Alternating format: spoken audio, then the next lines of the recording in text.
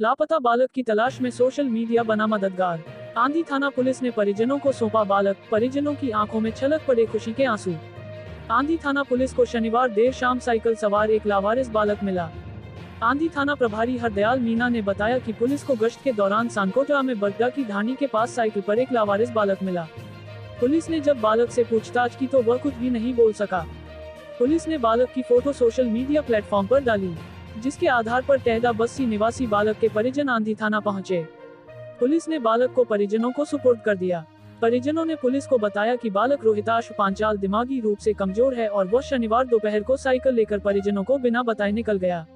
Social media पर मिली जानकारी के आधार पर वो आंधी थाना पहुँचे। बालक को पाकर परिजनों की आँखों में आँसू छलक पड़े और उन्होंने आंधी थाना पुलिस का आभार जताया।